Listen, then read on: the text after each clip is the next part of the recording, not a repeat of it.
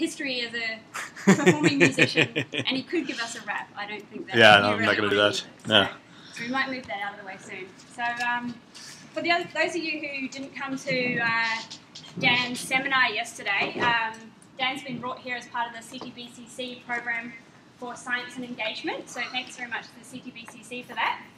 Uh, Dan has broad interests in the fields such as ecology, evolution, and bioinformatics, and he did his PhD at UC Davis with Michael Turelli and Peter Wainwright. Since then, he's been awarded three internationally competitive fellowships, two in the US, and one here. He's now on a DECRA at Macquarie University down in Sydney. Um, you may be familiar with Dan's work, and if you aren't already, you will be by the end of today. So, one sure. of the uh, software packages he's uh, written with his colleagues is called ENM Tools, which is what we're going to use today. And another one is called Are We There Yet? AWTY, that some of you might be familiar with.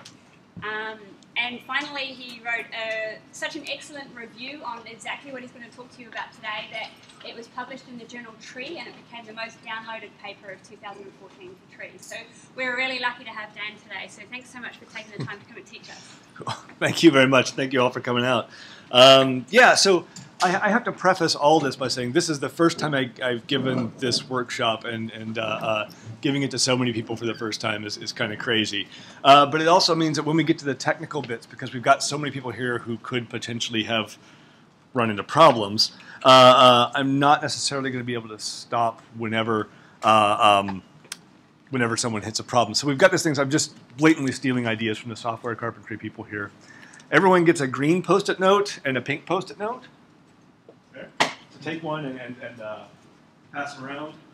And basically, if everything's, put one on the back of your laptop here, and if everything's going well, you should have a green post-it note there, right? So I can look out there and see hopefully a sea of green. It should be beautiful. And if you hit a snag, hit a pink thing, uh, put a pink one up. And, and your neighbors can help you, or, or someone nearby can help you. Uh, um, or if I see a whole bunch of pink go up simultaneously, I know that we've, you know, I've really screwed something up, and I'll stop and we'll see if we can figure out what the problem is. The other thing we're going to do here, for those of you who have internet access, uh, which is hopefully more, uh, most of you, we have this thing here called a Etherpad. It's this really cool thing where basically everybody in the class can share the same notepad. I've already put the, the outline I sent to, to Megan the other day up here. And what, it- what it is, if you just go to this URL up there, can you see that? It's, it's kind of small. Um, you can follow along here and you can add your own stuff here. You can take notes on all the stuff I've said. Uh, and, and you can chat down here in this window. You say, uh, uh, uh, uh, you know, I have no idea what that meant. Oh, I didn't mean to hit cap, all caps there. Anyway, but you can say that, and then and then you can you can chat to each other and sort of work through stuff over here. Particularly if you hit a simple technical problem, you know that the oh hey how did I do how did he do that or or uh, I can't get this thing to do that. Down there in the chat is a great place to do that, and maybe someone from the other side of the room can help you out without having to stop and get up and all that stuff. And then at the end of the day, if everyone's taking notes over here uh, uh, and keeping track of what's going on and explaining things better than this outline does, um, uh, we can export this as a text file or an HTML file, and you can sort of take this home as, as your notes to look back on the class. So it's, it's a very handy thing uh, uh, if people use it. Yeah, so go ahead and put your name in there when you log in, so people know who you are. Um, I, I can't access the EduRoam anywhere in the world, apparently, uh, so I'm going off my phone. So I may run out of internet access in a few hours, uh, um, but uh, uh, until that happens, I'm going to try and keep an eye on the uh, Etherpad. Somehow Dan was managed to write that to us while he was speaking, right? Was that?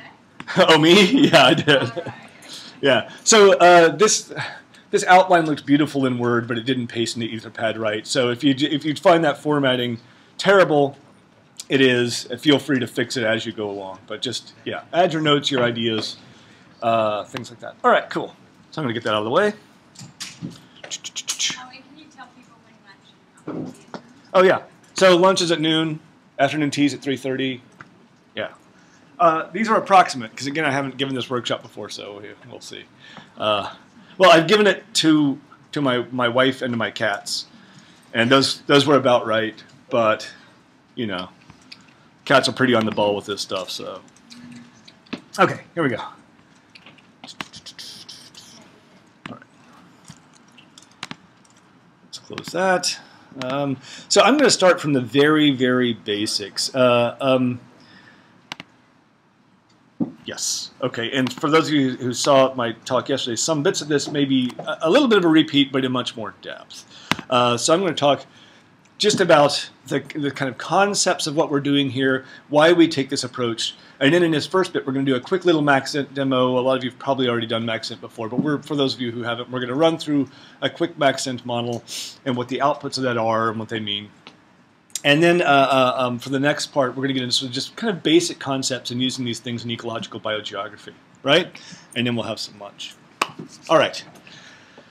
Oh, we've already done this stuff. Make sure you have a pink post-it note and a green one. Yes, okay. Uh, we've covered that. And then the Etherpad. Yes, okay. All right, so I did hit record, right? Uh, sorry. Going? I forget how you tell with Camtasia that you're actually recording. Yes, I'm actually recording. So, that'll be on the internet. All right. Uh, cool. So for a whole lot of things in biology and population biology, we have questions where we'd like to know something about a species' environmental tolerances. So this is roughly speaking the idea of the fundamental niche, or just the niche.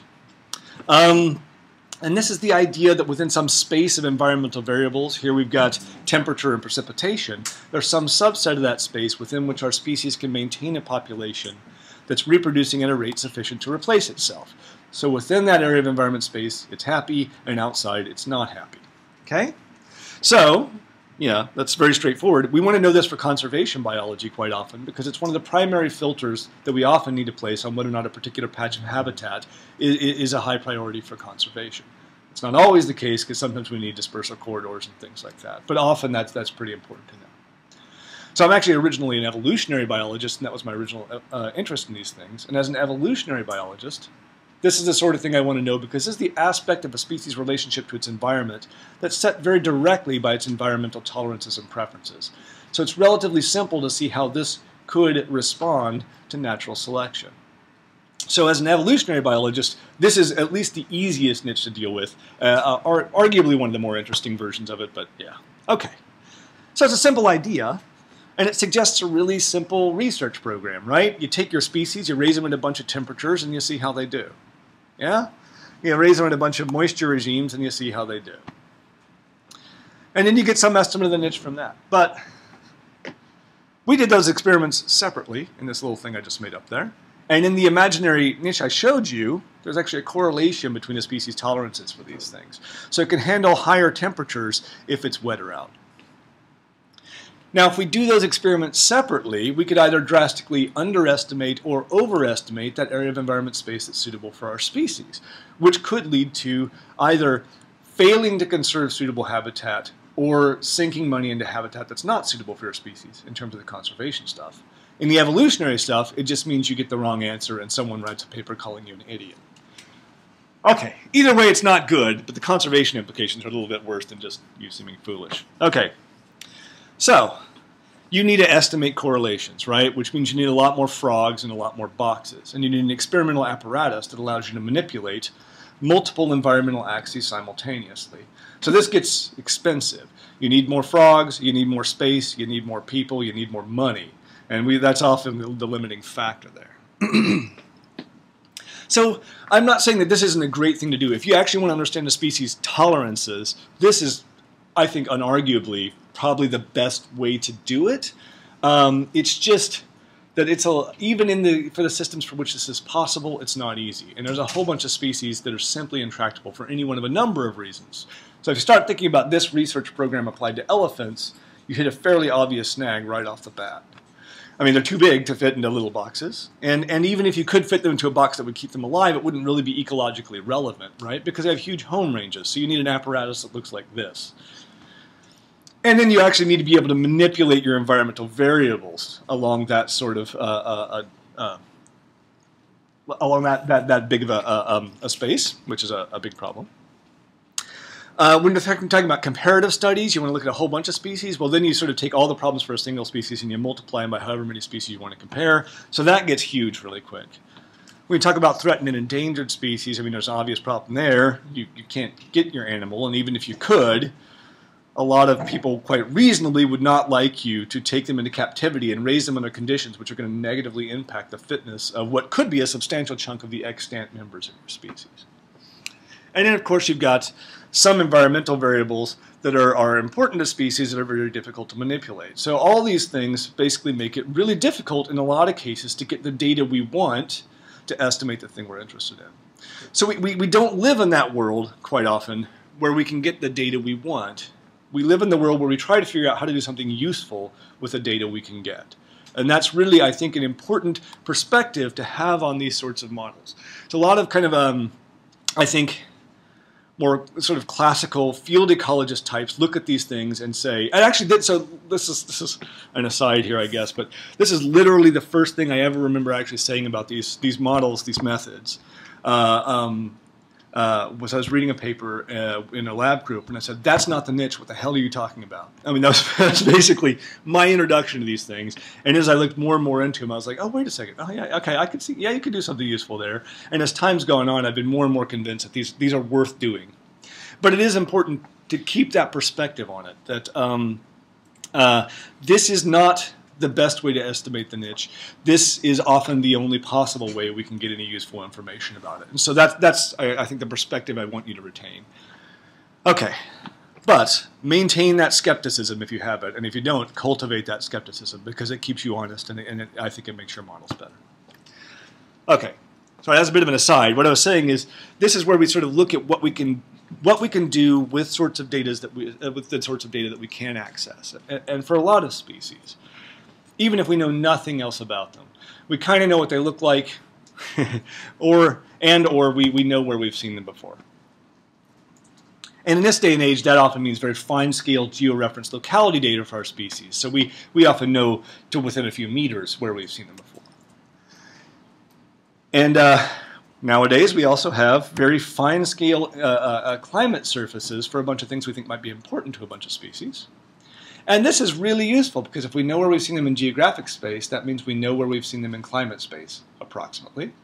And then we can use that, that, that uh, data to, to estimate something about their environmental tolerances. And there's tons of data for this stuff. So a lot of you are probably familiar with this. This is the Global Biodiversity Information Facility. Basically, they aggregate collection records from museums all over the world. Not all of those are geo-referenced. Not all of them are trustworthy, and definitely be aware of that. But there's a heck of a lot of it. So almost 530 million uh, records as of a few days ago, 1.6 million species. That's a lot of data. And so there we go, I guess. That's kind of the broad idea of these things, the environmental niche models, species distribution models, whatever you want to call them. So because they are very tractable and they provide things that we find useful for a lot of uh, uh, studies, they've absolutely exploded across uh, evolution, ecology, and conservation biology in the past decade. So this is the percent growth in the use of these methods as a function. I don't know if you can see this line, but down at the bottom, that's the percent growth in the, the number of papers in that set of journals, and that, that top dashed line is the percent growth in the, per, in the percentage of those papers that use um, uh, these methods. So, about a, probably about a 2,500% increase in less than a decade. So, really, really widely used. All right, so before we go any further, we're going to get hands-on really quickly. We're going to do a quick demo of Maxent. Um, and uh, uh, yeah, and, and, then we're just going to look at, at, what sorts of things we're doing here. So um, if you don't have Maxent, uh, it's probably a little too late for you to download it for the demo, but you can get it over lunch. You can just do the get the first Google hit for Maxent. That'll actually take you to their web page. You may need to install Java, um, but you probably already have that. And then what you need is uh, some occurrence data, and this is just species name, Latin long, in a, a comma separated values file, which you can export from Excel. And then you need some environment data. And this is a picture of what that environment data looks like. Uh, uh, you know, just it's basically been converted into a bitmap. But what it really looks like is, is this stuff you download from from WorldClim or somewhere like that, or layers you can get from uh, uh um, the Atlas of Living Australia and stuff. And uh, when you actually look inside those things in a text editor, this is what that data looks like. So you've got this header, which is these first six rows here, which basically just tells the tells the, the, the program how big your grid is, where the lower left corner of it is in geographic space, how big the grid cells are, so you can use that for, for uh, putting your points in space, And then this thing that says uh, no data values. That's that's actually grid cells where you don't have any data. So like here, we're actually this is actually looking at this same layer. That top left corner there, you can see that's all that's ocean, so we don't have any data there. So if we're looking at the top left corner of that grid file, it's all no data values. Okay. So now we're going to build a really quick maxent model for a couple of anole species. So these are these are lizards. These are from this this is the island of Hispaniola in the Caribbean. Uh, it's where Haiti and Dominican Republic are located. And we've got two species in all of our examples today. Uh, pretty much are going to be these two species. There's this northern one, it's called Anolis chlorocyanus, that lives north of this biogeographic boundary called Mertens Line. And the southern one is called Anolis coelestinus, which lives south of that biogeographic boundary. And so that's what we're going to model right now. So we're going to stop here. We're going to launch Maxent for those of you who want to play along at home. Okay. So we're going to go to our demos folder here. And uh, for most of you, you probably should just be able to double click maxent.jar. So did everyone get the demos folder? Did we pass that around? Yes. Okay. Yes, thank you. yeah, I'm going to do that probably 20 or 30 times today. So I'm going to have to keep switching back and forth between mirroring my desktop and extending my desktop. And, and I forgot to do it there. So, we good? So you hit browse. You're going to uh, uh, head to wherever you store your demos file. So now we're browsing for our samples. This is our point data. So mine's on my desktop. Uh, there we go. It's under sample data. So for right now, we've got a bunch of different files here. These are actually different ways of sort of mangling the data of the same two species. We're going to choose the one, it's the third one down here, for me at least. It says chlorocyanus coelestinus maxent.csv. And this just loaded in the point data for those two species. Now we're going to hit Browse again, and you need to select the folder, but don't double click it. Just select the folder Hispaniola World Clim, and hit Choose. And now that's loaded in our environmental variables. So this is temperature, precipitation, stuff like that. These are the uh, the 19 bioclim variables, if you want to look those up, uh, uh, and uh, altitude. And so we're going to hit Create Response Curves, uh, I guess we'll go ahead and do jackknife to measure variable importance. So there's different options here for what you can do as part of that thing. We need to uh, select an output directory. So here you hit Browse, and we're going to have to go up a directory. We're going to go Demos, Maxent Output. We'll just hit Choose there. Everyone green? All right, good. And there's, I'm going to uh, point you to a few more settings here. So um, hit the Settings button. We're going to ignore most of this. But what we're going to do here is we're going to tell it to set aside some percentage of our data for each of those species. We're going to pick, let's say, 30%. Let's just put a 30 there. And what it's going to do is it's going to take randomly 70% of our data and use that to build a model, and then it's going to give us some evaluation statistics based on the 30% that it did not use to build the model. So this is a sort of uh, uh, kind of a random subsetting thing that we use to make sure that our model is hopefully not overfit to our training data. And I'll talk about that in detail in a bit. All right, so we'll just hit uh, OK there, or just close it, and then we hit Run. And uh, um, this is probably going to take about five minutes or so. So does anyone have any problems right now? I know it's a bit early for people to need to run to the restroom, but... Uh, if anyone missed what the Etherpad um, URL was, I've written at the back of the room there and just up here. How many of you have not used Maxent before? Oh wow, it's more than I would have thought. Okay, all right, great. Well, it's an incredibly easy to use piece of software. It's uh, and you'll see the output of it is beautiful. It writes half the paper for you. It's amazing. And I actually, you know, looking back at that explosive growth of these methods across this literature, I think it's primarily due to the ease of use of Maxent. Um, it's amazing how much effect easy to use software has on, on any sort of literature. Um, yeah, the easiest to use tool is almost always the most used tool, regardless of its merits. So I, I honestly feel like in this literature, uh, we are fortunate. There are a lot of sort of anti-Maxent modeling hipsters out there, but I think we're fortunate that the uh, uh, uh, the easiest to use method we've got is one of the best. Maybe not the best, but it's still pretty darn good compared to some of the other stuff we've got. So that's pretty cool. Man. Okay, this might take a while. Any questions so far? Nobody? Uh, why do I say niche instead of niche? Is that a good? Because uh, uh, I'm from Oklahoma. Most Americans say niche. Uh, a lot of them do. Yeah, yeah. It, it seems to be if you're if you're raised within uh, uh, 20 miles of the coast, you might say niche, particularly the West Coast. Yeah, yeah. But uh, but I went to school close to the West Coast, and a lot of people said niche Everyone there. niche. Uh, everyone who's from Berkeley says niche, I think, or at least a lot of them. Yes. Mm. Uh, so 30% is what people often do. There was a study, oh, I can't remember who did it, but it was a long time ago, basically asking what the optimal training and test percentage is. It's going to be dependent, uh, honestly, on how much data you've got. If you've got, you know, if you've got lots of data points, then yeah, it, it probably won't make too much difference if, whether, if you did 10 or 30. If you had a very few data points and you set aside 30%, then you're not giving your model very much information to go on. Um, so yeah, I mean, honestly, I don't think it makes a huge difference. And it, as, as we go on a little bit later, I'll, I'll talk about why I think this, this test AUC is useful, but not as useful as, as I think it appears at first glance. Um, yeah. So 30 is just, uh, it's again, it's just what most people do. This, this literature is full of rules of thumb, you know, things that seem like a good idea, and then enough people have done them that they seem built into the process. And uh, um, there really has not, in a lot of cases, been systematic evaluation of the effects of those things. And to the extent that there has been, and I'll talk about this a little more, I think the system, some of the, a lot of the systematic evaluations we have done of some of these modeling choices could be actually quite misleading. Yeah. So, uh, oh, well, at least we're on to Coelestinus now. That's uh, we're halfway through. Should have brought a guitar or something. Uh, yeah, I could. Uh, well. I don't think I remember all the words to it. Any other questions? This will.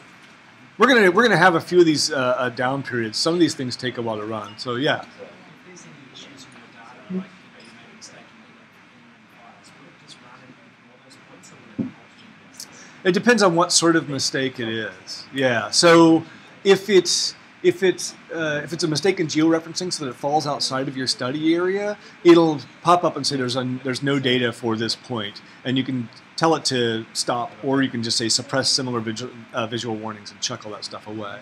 Um, other, I, yeah, I think most other errors. That's, some of them it will sort of barf and die, but but uh, yeah, it just depends on what kind of error it is. Yeah. So does that mean that your species occurrence points have to have climate layers, Mm. the climate layers could sit outside your species occurrence point, or do you need to trim your climate layers to your species occurrence? Oh, the, the climate layers can be as broad as they want. Yeah, it's just you can. It's yeah, or yeah, it's it's rarely a good idea to do that. But uh, so I did a thing. We didn't quite do that, but we uh, we were working on a Parthenium weed, which is pretty much globally distributed except for the poles.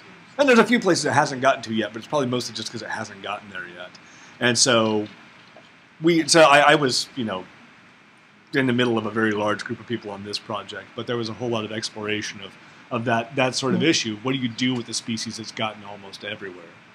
Yeah. And uh, um, yeah, so we tried different approaches there. That, it's not it's not published yet, and it's not mine to talk about, so I can't talk about what we found. But uh, yeah, you can do the whole world if you have some reason to. You could throw in space if you had reason to, I suppose. Oh, yeah, that's a question. Oh, about space? Do many, no, no, no. Oceans. Do people do much environmental niche about space? oceans? So people do do some uh, environmental niche modeling in yeah in, in marine environments, and in some cases I think I. In some cases, it, it really depends on the question whether that's, that's a reasonable thing to do or, or little, I think, weird. So, like, I my, my field work is actually reef fish, and I've never done any of this sort of modeling on reef fish because, you know, the primary determinant of where reef fish go is where the reef is, right? And that's so. Like, I, I work in the Caribbean a whole lot, and you're looking at you know the, a lot of the variables we got are like sea surface temperature, you know, salinity, pH, you know, all that sort of stuff.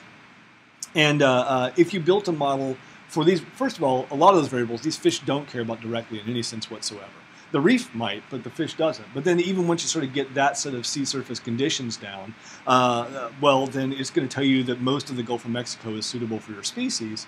And that's not true. It's actually a, a 20 meter wide band around the Gulf of Mexico that's suitable for your species. And so the predictions you get out of it uh, uh, are often not particularly useful. Now, if you have substrate stuff, or if you have variables that are actually important to your species, or at a scale that's relevant to di- predicting the distribution that you care about, then that I think it makes perfect sense. There's no reason you couldn't do it. It's just, in most cases, getting the data that's relevant to your species is, is quite difficult in that context.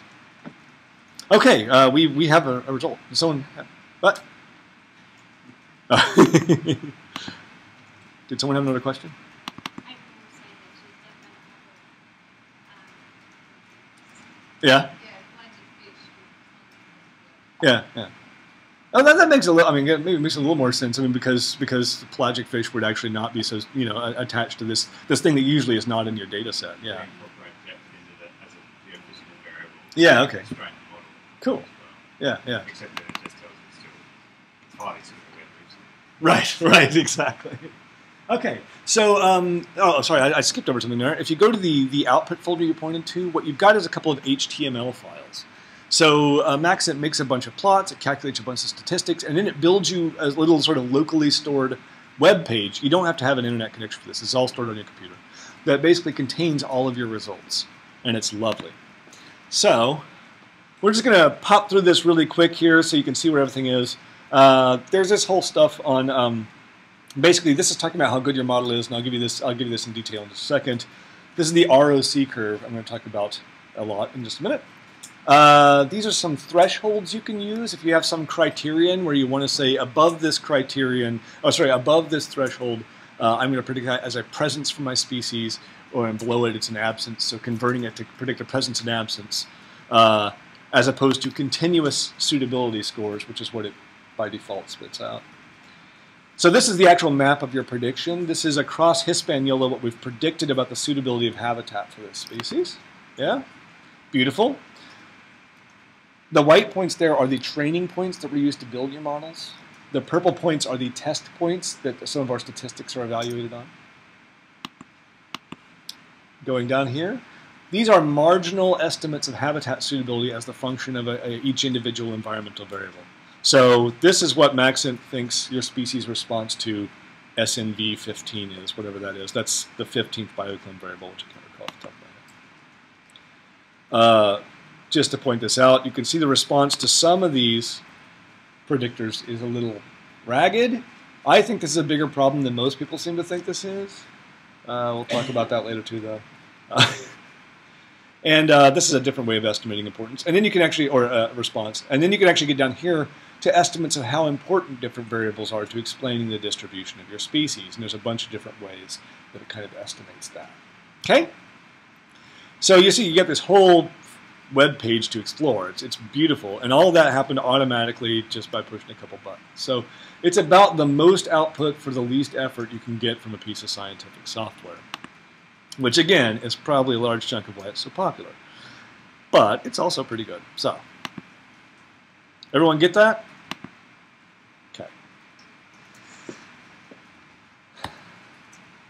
So as I showed you, this is, this is what our prediction looks like in terms of continuous estimates of habitat suitability. So these cooler colors are what we estimate to be poor quality habitat. The warmer the color is, the better the quality you're predicting. Um, it's hard to evaluate model fit in an intuitive way using these continuous scores, so we have a way of, of kind of getting around that, and that's this plot that's called uh, uh, the ROC plot. So this that stands for no reason you need to know this, but it stands for the receiver operating characteristic curve. Um, it's I think we actually stole this from medical science, where it's used. I think it's was it ascertainment based on tests or something like that. Like they they would use this thing to evaluate the success rates of a, of a, a test for cancer, things like that. Anyway, so what this is is let's say let's go back to this. Let's say we wanted to establish a threshold for converting these continuous scores into presence and absence. So let's say the highest score in our space is 0.9 and our threshold is 1. How many cell grid cells do we predict as present? Zero. And for our actual data, our point data, how many of those do we predict as present? The answer is zero. But now if we slide that threshold down, we start predicting more and more grid cells as presence, and then we also predict more and more of our data points as present. And then so, so the, here you're actually sort of measuring that trade-off there, because ideally what you want, from a perfect model of the data, not of a niche, um, an ideal model would be one where as soon as you sort of move that threshold down to where you start predicting anywhere, you only predict where your data is. Yeah? Okay. So this is kind of what that looks like, just to illustrate. Can everyone see down here? So brown means we're not predicting there. So this is with that threshold set so set high, so high you're not making a prediction of presence here. As you move, and this is this is where we are here. So the fractional predicted area is this x-axis. So that's basically saying how much of this area are we predicting with a given threshold. The y-axis is how many of our uh, uh, points are we predicting. And so the red line is our training data. That's the data the model had available to it. The blue line is our test data, that random subset of the data we set aside. So we're saying as you increase the area you predict, how do you increase your predictions of your training and your test data? So we can move that threshold down, and you can barely see it there. We get a little sprinkling of points there, so we're still. Then we move it down some more, so we predict more area, and more area, and more area. And so here we're, I don't know, what's that, 10%? You know? And we're predicting that many of those points. And as we just move that threshold down and down and down and down, we predict more and more of the area. But now we're getting to the point where we're predicting a lot of places where our species isn't. So our, our sensitivity may be high, but our fractional predicted area is also high. So we're just measuring the trade-off between these things, right? And that's all this ROC curve does. It's a very handy way to think about what a model in this sort of sense does, because it's not dependent on any particular threshold. It's just saying how selective your model is in general. But we can summarize this by taking the area under this curve. So that perfect model, as soon as you were to predict, predict that your species was anywhere, you would have to predict it was everywhere. I'm sorry, no, no, I'm sorry. As soon as you predicted it was anywhere, you would have to predict all of your data. That's a perfect model. You make any prediction, it's a perfect prediction. And that would mean you would go from that 0, 0 to 0, 1. Right? And so th- this is the performance of a perfect model on this metric. And you can take the area under that curve, and that area under that curve is 1, because we're going from 0 to 1 and 0 to 1. Yeah? So that's an AUC score. Now, a random model, a completely uninformative model, would not have an AUC of 0, because any model is going to make a prediction. So a random model if you just sort of predicted randomly grid cells across your space, let's say you predicted half of them, what's the chance that you include any given point? Half? Half. Yes. And if you if you predicted 70% of the area is present, then you're going to predict 70% of your points on average, right? And so the actual uh, rate you predict there is this line here. It's the sort of unity line where if you're predicting a tenth of the area, you're predicting a tenth of your points. That's the expectation for an uninformative model. So the area under that curve is 0.5. So typically we expect this metric to range from 1 for a perfect model to 0.5 for an uninformative model. We'll follow up on that later because it's not necessarily true. But it's something that everyone believes, which I guess is the important thing. uh, sorry. So I, I, I, if it's not clear, I have a habit of, of uh, constantly thinking about the problems with methods and stuff. It's sort of one of my favorite hobbies is being sort of bleak about science. Uh, but uh, uh, this is, yeah, it's perfectly acceptable. People use this all the time. Uh, um, I just like making fun of stuff that people love. I don't know. so there are lots of choices you have to make here. Uh, and I talked yesterday about how these contribute to uncertainty in, in, uh, in your models and your modeling outcomes. So you've got to talk about curating points, so picking stuff that actually represents your species, uh, getting rid of errors in georeferencing, taxonomic mis-IDs, stuff like that. Picking the right environmental variables, picking the right study area for, for selecting your background data or your absences, picking the right algorithm, complexity, types of responses, all that sort of stuff. So you've got to make so many choices every time you go to the board with this stuff.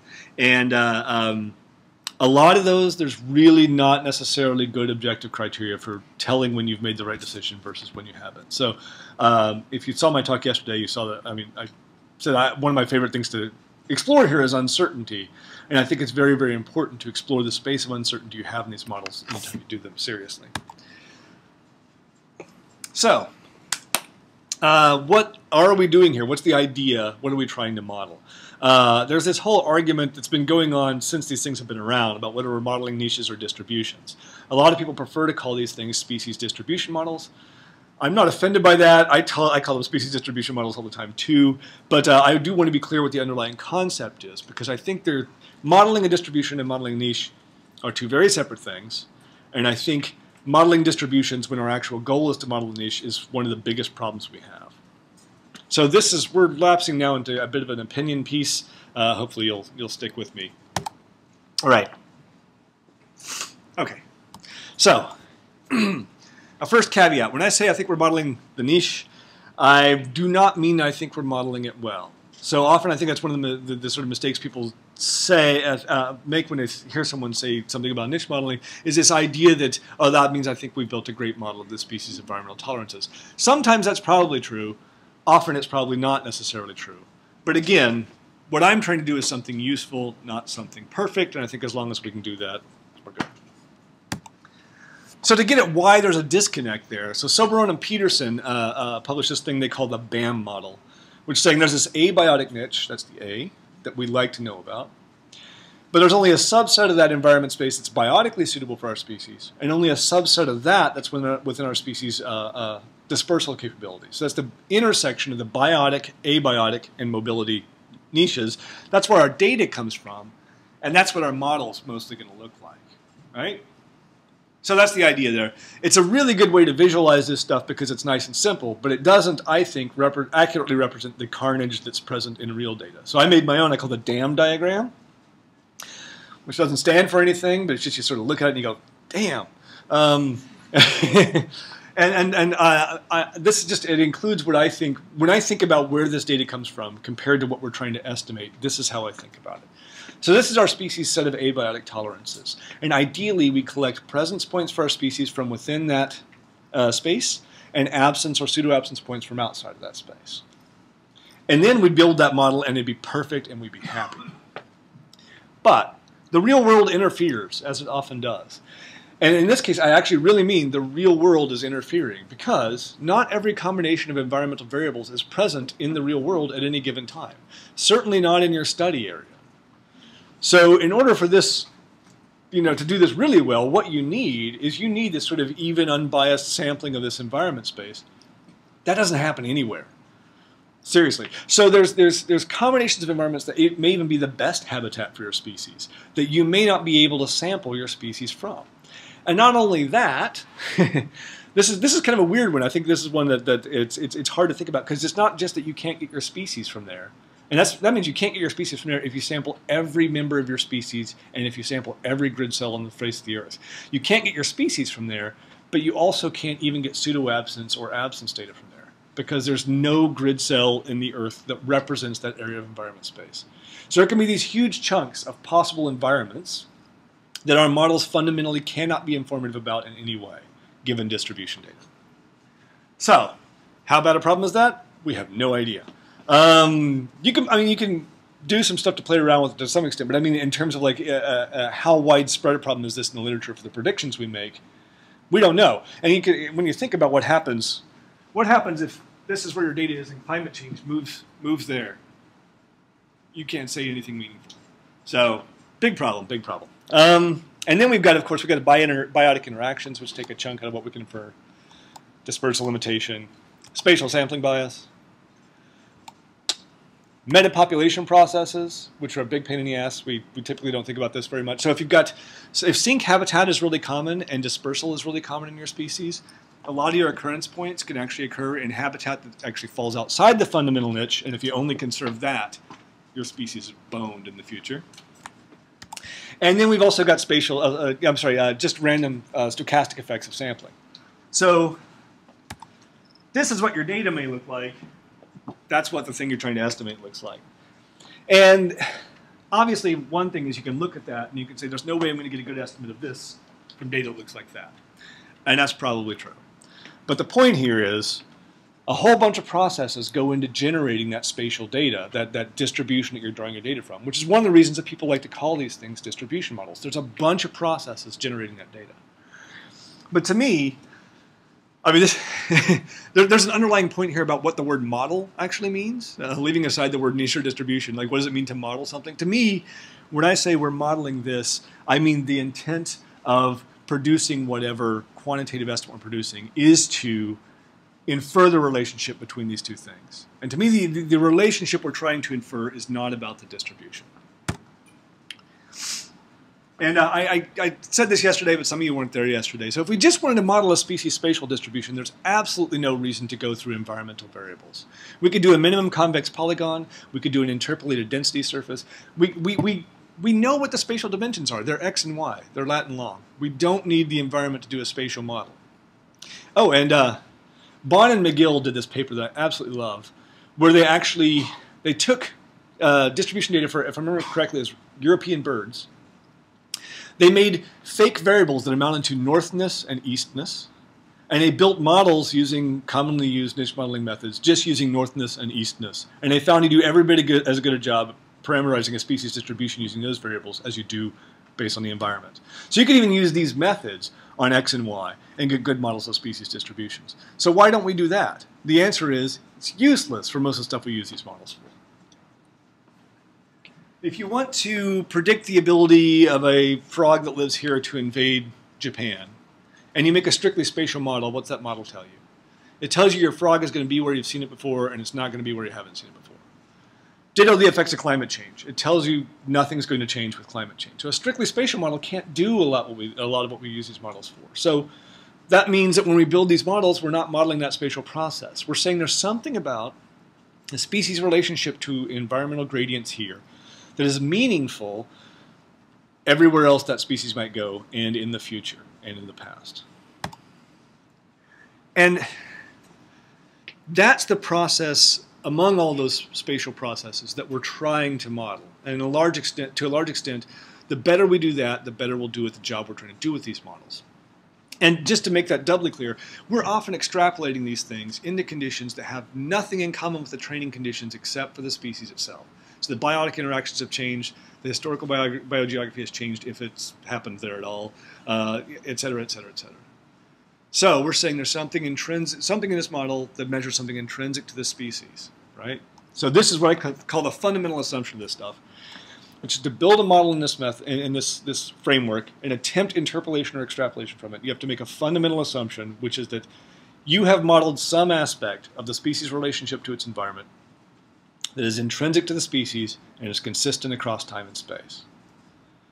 Now, if you don't want to call that the niche, don't, that's fine. but it doesn't sound like a distribution to me. And, and, the important bit here is that we realize that for most of the applications to which we put these models, our outcomes are going to be as good as our model of this thing is. Okay. Right, so who cares? Why should you give a crap about all this stuff? You know, that's a, I mean, it can be kind of a tedious point, but you should care um, because that's getting at the very intent of this entire modeling paradigm. And if we want to get better at this stuff, we have to at, at, least be clear at what we're trying to get better at. so in any given modeling effort, I think the first step, a good first step at least, would be to sit down and say, would I be happier with a model that really fits my distribution data if it's a poor estimate of the niche, if I knew that? Or would I be happier with a model that was a good estimate of the actual suitability of habitat, even if it doesn't currently fit the present day distribution of my species? Because there can be all those other spatial phenomena keeping it from out of here, right? Uh, um, and this could be a perfect estimate of the suitability of habitat for the species, even though it's not in all that. And if the answer is that you want to model a species' environmental tolerances, you run up against a problem. and uh, uh, I think this is not unappreciated. I know Rob Anderson worries about this a lot. Lobo worries about this a lot. A lot of other people worry about this. But there's an underappreciated problem at the center of this entire literature, uh, which is this problem of objective functions. So an objective function is it's a function. It tells you how well you've done at your objective. Uh, it's an easy way to remember it. So we're measuring, it's something that tells you how good your model is at doing what you want it to do. And in our case, we're using A, AUC there. Yeah, I'm sorry. But we've also got the true skill statistic and kappa and AIC and all these sorts of things. different ways of saying how well our model does its job. And uh, people argue back and forth about which of these are better, but they all suffer from the same fundamental problem, which is our data looks like this. So we collect some presence data there. We collect some absence or pseudo-absence data from there. And then we fiddle a model to it. Now the model is the orange bit. So all of our objective functions measure how well our model fits our data. But our data includes a lot of non-target processes, right? So this, this model says our species should be everywhere we've seen it, and it shouldn't be anywhere we haven't seen it. So by at the very least, most of our objective functions, maybe not AIC, depending on how many parameters it's got, uh, by, by at least most, maybe all of our objective functions, that's a great model. But if your goal is to estimate the species environmental tolerances, that model sucks, right? Whereas a true model that actually knew the truth of the species niche would get a really bad score by those objective functions because it's saying your species should be in places you haven't seen it before and it shouldn't be in places you have seen it before, which is that sink habitat. And this is a really serious problem. Now, a lot of people that remember we did that AUC test thing where we set aside that subset of our data, and uh, uh, yeah, so that's a good thing to do. I'm not hating on AUC tests, but it's not as good as people think it is because it suffers from actually this exact same problem. So AUC will get you uh, away from some sort of stochastic effects of sampling and stuff like that. Sorry, AUC on test data. But you think about this. If you've got these processes in your data that are generating these patterns across the landscape, patterns of correlation with the environment, those patterns are present in your training data and your random sample, your, your test data. So you're still going to be evaluating on your model on how well it fits these non-target phenomena. So AUC on, on test data, again, it's, it's better than not doing it. It can control over-parameterization to some extent, get rid of some of the, the sort of noise in your model, but it doesn't get you away from this. It doesn't tell you that you've estimated the niche well. So, big problem. Uh, we are trying to build essentially, we're evaluating these models using species distributions, but we're using them very frequently as niche estimates, uh, um, which is a, a, bit a bit of an issue. Uh, uh, but the problem is worse than that. So, with what I've said so far, that might lead you to think, well, in any given modeling effort, I may have chose the, chosen the wrong model. You know, I may not have picked the best one from my set of candidate models. But the problem could be far more uh, uh, pervasive than that, because we have decades, particularly the last decade, of methodological research in this area saying, how should I choose my environmental variables? How should I choose my study area? Which algorithm is best, et cetera, et cetera, et cetera. Almost all those studies are based on these exact same objective functions. So once we sort of realize the goal is to estimate the niche and the, the, and the uh, objective functions are estimating the distribution, which could actually be misleading, we've got a set of best practices, which actually could be misleading about the real best practices for our, the actual intention, usually, of our modeling, purpose, our, our modeling endeavors. So, is everybody sad? All right. Well, the problem, of course, is we don't know what else to do. I'm not going to tell you what the answer is here because I don't have nobody has it. But you should be aware of the problem. We, the reason we're building these models in the first place is all we've got is the distributional data, right? I mean, we, if we knew the truth of the, of the niche, if we had that to evaluate against, we wouldn't be doing this in the first place. And uh, that's that's kind of where we stand right now. And I, am not again. I can't tell you what the answer to this is. I, I hope the Decker stuff I'm working on it gets us a little further uh, uh, down that road, but it's not going to solve the problem. Uh, uh, and I don't want to make people so depressed they don't do this because, again, the goal here is to do something useful, not to do something perfect. But I think being aware of that sort of uh, uh core distinction between what you're trying to do and what these these methods are re rewarding and what they're actually doing is, is essential to trying to do this stuff well because you, have got to. I mean, I just want to install instill in you a level of skepticism about your own models. So, all right. So I, I guess I'm uh, done a little, about 10 minutes early here. Um, so these things are cheap, cheap and easy to build. Um, uh, but yeah, and they can, can, offer useful estimates of biological phenomena that we can't get otherwise.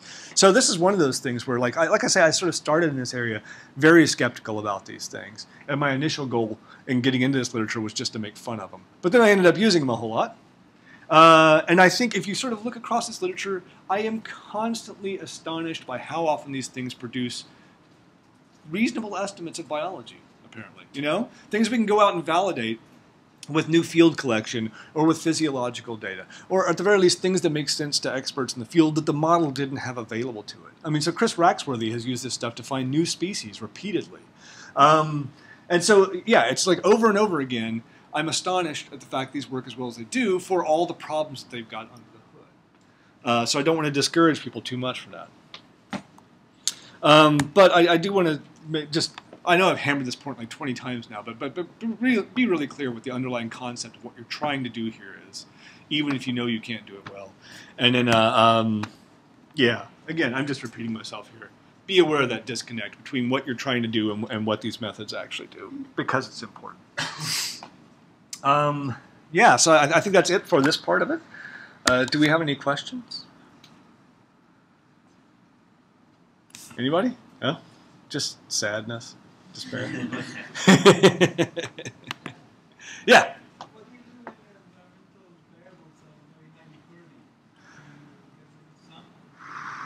Yeah, that's a great question, isn't it? Well, the answer is we've got. I mean, well, um, the answer. I don't have the answer.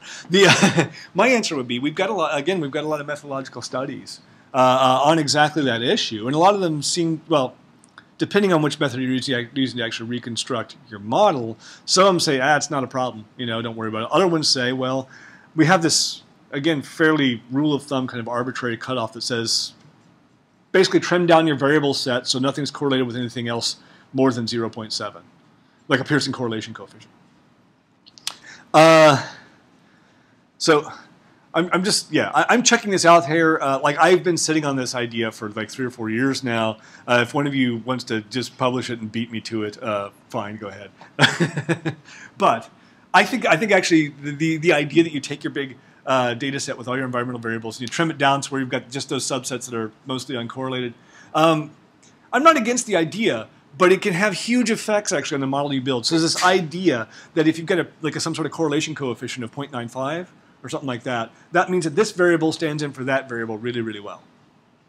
That's not necessarily the case when you're talking about the spatial prediction, because the sort of implicit assumption there is that the residuals from that from that uh, regression have no structure to them, which is something we're used to from working with sort of like you know uh, uh, x and y data, just doing linear regressions. We're used to thinking that way, but it's not true. The, the residuals from the relationships between those environmental variables actually have spatial structure. And so you could have two variables that are fairly highly correlated, and yet you could make very different spatial predictions with them. Yeah? So I don't, I, if, if someone has grappled with that idea in any sort of systematic context, or even sort of put it out there, I, have, I haven't read the paper yet. But, but uh, um, yeah, it's, it's, it's, a, it's a tough thing to do. Honestly, my best answer, what I think is the best answer, is, is try to know something about the species biology and figure out what's most relevant. Trim it down to that.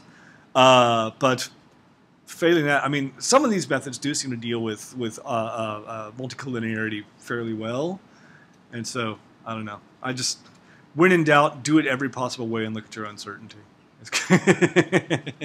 That's my short answer to every methodological question. Diego. So, uh, would you say that it, it is often the case that when you have an insightful paper that uses the species distribution model, mm. it is only insightful because it has some sort of post-validation assessment, or can you can, have you, do you know any paper that is that you would consider insightful that only use the SDM approach? Oh wow. Um, like like my yeah, I, I would say yes. I mean, it depends on what you mean by insightful. You mean generating biological insight or something like that? Yeah, or? you were saying that you have you, you had this paper where the guy was using to predict the, the occurrence of new species or rare Yes, yeah, yeah, Raxworthy, yeah, yeah. But you said he used post-validation methods. Yeah, he went out looking. If I remember correctly, it's been probably five or six years paper, since I read the paper. Uh, made models for a group of geckos or chameleons in Madagascar. Yeah, yeah. And yeah, and they predicted some some new populations that no one had seen before, and they went out to look at those populations, and that species wasn't there, but a, a previously undescribed sister species was. And he did that uh, multiple times, I think, and and, and that's very cool. Uh, I definitely think my often my favorite papers are the ones that sort of tie it into some other stuff, but they're I mean I think insightful in terms of the modeling process, or insightful in terms of the biology. Well, I guess the the, the word I was trying to use is useful. Like, how do you know that prediction is useful? Um, I think actually, and this is one of the reasons I like you know looking at uncertainty. Uh, uh, I think if you use a whole bunch of different approaches and they all agree about this, it's probably true. Um, I think if you if you my own perception is that there is a strong omission bias for these uh, uh, uh, models. So that if you build a model and it says a species could be there, at least in terms of that set of environmental variable, that's almost certainly true. Uh, um, I mean, unless you're doing something kind of crazy, it, it's, it's usually true that the species could could could tolerate that set of environments. Uh, uh, I think often the the omissions are because there's a but are usually due to those non-target processes. Um, uh, so I think you can do a lot of useful stuff with these with appropriate interpretation, uh, as long as you're sort of looking at it through that lens. That could all change when you're extrapolating, though, just said. uh, uh, yeah, I don't know. Anybody else? I can go into the next part. Um, yeah. All right. Cool. What's that? Oh, do people want to take a break? Yeah, I'll take a five minute break.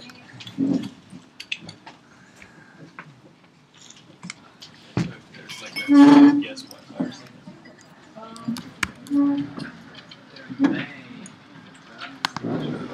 Sorry. No, that's okay. Is there any? Hey,